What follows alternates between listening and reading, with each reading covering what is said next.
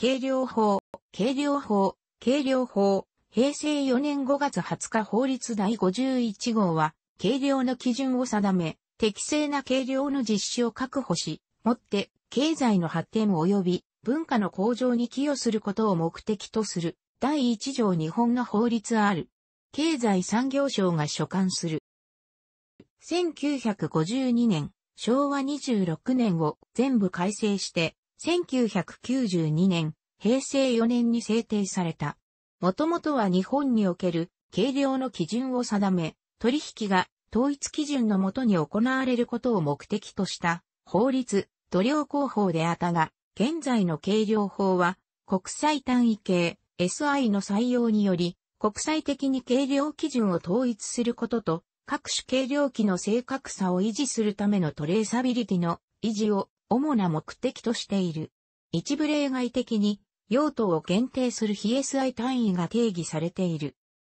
また、計量の専門家である計量士、環境に関する計量については、環境計量士の育成、環境問題への対応のための環境計量への対応がなされている。現在、計量法令の課題は、日本工業規格、JIS との整合性を図ることであり、そのために計量法令での具体的規定を JIS を参照するようにすることが検討され、特定計量器の技術基準については、計量法施行規則において、JIS を引用する形への改正が、2005月4月の改正で、抵抗体温計等3機種の技術基準に関する JIS が初めて省令に引きされ、2016年1月の改正において全特定計量器の技術基準の実印が完了した。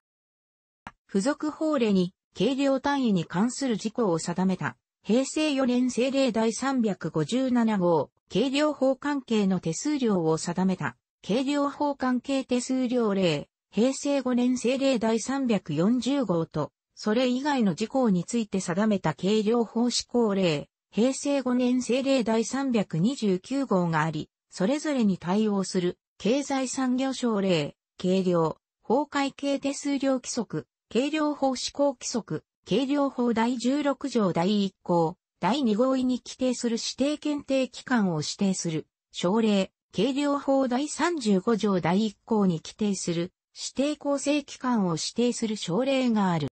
計量法は、物証の状態の量のうち、熟度の高いもの72両、第2条第1項第1号と、熟度の低いもの17両、第2条第1項、第2号、計量単位例、第1条の合計89両について、計量法上の計量の対象としている。この89両以外の量を測ることは、計量法上の計量とは扱われない。計量法は、上記の72両にかかる計量単位を SI 単位、国際単位系に掲げられている単位であるか、非 SI 単位であるかによって条項を分けて規定している。計量法は、その第8条第1項で、非法定計量単位を取引または証明、口述に用いることを禁じている。この違反は50万円以下の罰金である。第173条第1号。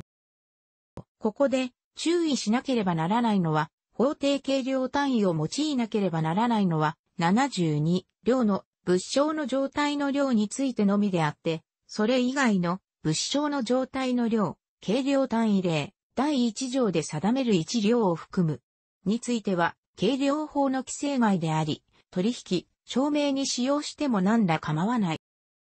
取引、証明、口述以外における計量単位の使用については、規制がなく、法律上は任意である。しかし、計量法の目的に照らせば非法定計量単位の使用が普及することは望ましくなく、72行の計量には法定計量単位を使用することが望ましい。法定計量単位とともに、括弧書きで非法定計量単位を併記することは許容されている。ただし計量器のメモリについては併記できない、口述。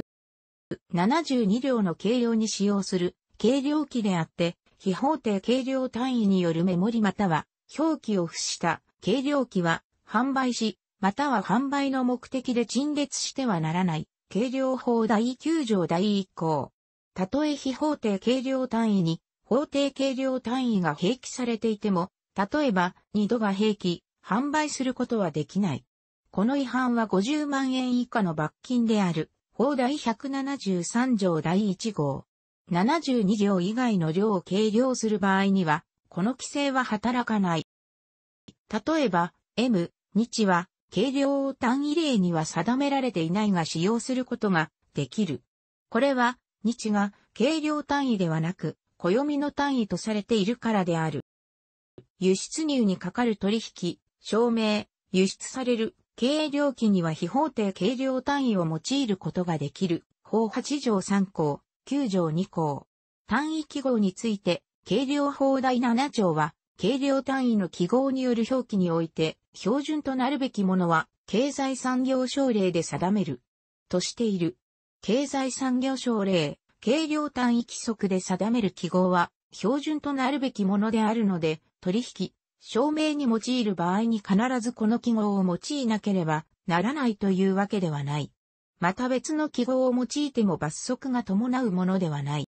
ただし特定計量器に付する記号については、計量単位規則に掲げられている記号を用いなければ、検定に合格できない。家庭用計量器、体重計、キッチンスケールなどについても同様である、技基準、JIS-B7613、2015に適合することと、いわゆる丸状マークを付けなければならない。取引、証明の場合であれ、それ以外の場合であれ、計量法の目的に照らせば、法定外の単位記号が普及することは望ましくなく、定められた単位記号を用いることが望ましい。日本国内では、計量に関する規制はもっぱら計量法によっている。したがって、計量法に規定がなく、国際単位系に規定がある、計量単位を取引、証明に用いるかどうかは、法律上は任意である。SI の使用の規制は、計量法とは異なり、取引、証明に用いる場合に限定されておらず、様々な場面で使用することが決められている。ただし、SI を使わないことに何らかの罰則が伴うものではない。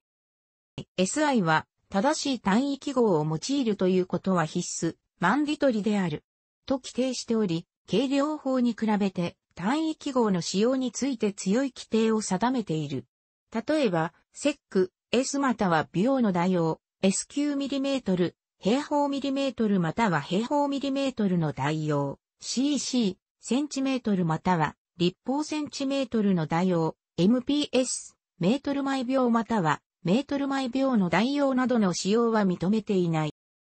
取引の定義、有償であると無償であるとを問わず、物または、駅務の給付を目的とする業務上の行為、計量法、第2条、第2項。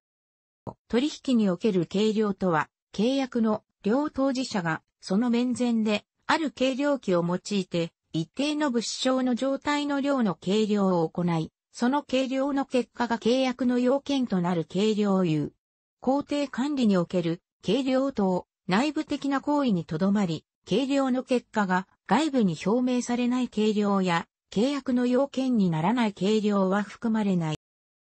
計量したものに、計量の結果を表示する場合については、そのものが取引の対象となり、表示した計量の結果が契約の要件となるときは、その表示をするための計量は取引における計量に該当する。内部の工程管理における計量結果の表明であり、工程管理上その計量結果の表示を用いる場合は、その表示のための計量は取引における計量に該当しない。